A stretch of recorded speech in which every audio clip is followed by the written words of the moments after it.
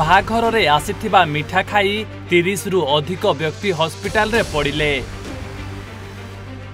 ଏଥିରେ ଛୋଟ ପିଲାଙ୍କଠାରୁ ଆରମ୍ଭ କରି ବୟସ୍କ ବ୍ୟକ୍ତି ପର୍ଯ୍ୟନ୍ତ ଝାଡ଼ା ବାନ୍ତିରେ ଆକ୍ରାନ୍ତ ହୋଇଛନ୍ତି।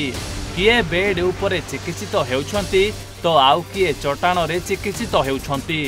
ଛୋଟ ଛୋଟ ପିଲାମାନଙ୍କଠାରେ ମଧ୍ୟ ସାଲାଇନ୍ ଲାଗିଛି। ବାହାଘରରେ ଆସିଥିବା ମିଠା ଖାଇ ଏଭଳି ଝାଡ଼ାବାନ୍ତି ହୋଇଥିବା ଜଣାପଡ଼ିଛି।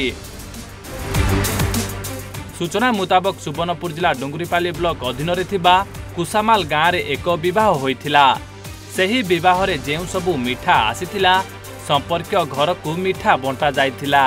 ସେହି ମିଠା ଖାଇବାରୁ ଝାଡ଼ା ବାନ୍ତିରେ ଆକ୍ରାନ୍ତ ହୋଇଥିବା ରୋଗୀ ଓ ସମ୍ପର୍କୀୟ କହିଛନ୍ତି ଏଥିରେ ତିରିଶରୁ ଅଧିକ ବ୍ୟକ୍ତି ଆକ୍ରାନ୍ତ ହୋଇଥିବା ଜଣାପଡ଼ିଛି। ବିଶେଷ ଭାବରେ କୋଡ଼ିଏରୁ ଅଧିକ ଜଣ ଖାଲି ଶିଶୁ ଆକ୍ରାନ୍ତ ହୋଇଥିବା ଜଣାପଡ଼ିଛି। ତେବେ ବିବାହରେ ଆସିଥିବା ମିଠା ଖାଇ ଝାଡ଼ା ବାନ୍ତିରେ ଆକ୍ରାନ୍ତ ହୋଇଛନ୍ତି ତିରିଶରୁ ଅଧିକ ବ୍ୟକ୍ତି।